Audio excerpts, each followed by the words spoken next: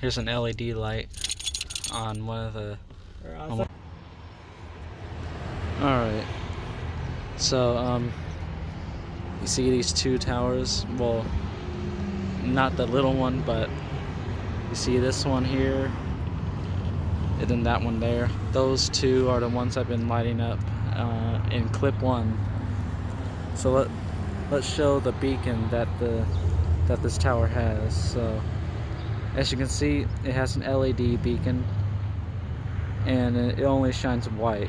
It doesn't shine red. So don't expect to see any markers around the middle of the tower. And then its brother here. Um, this one has a dual beacon from what looks like um, flash technology. So yeah, this one shines white and red. And about this third tower here, um, so does anybody have any information about this little tower here? I've been, if you do, then tell me because that's what I wanted to know for a long time. I want to see what's on top. What are those? Are those are those beacons?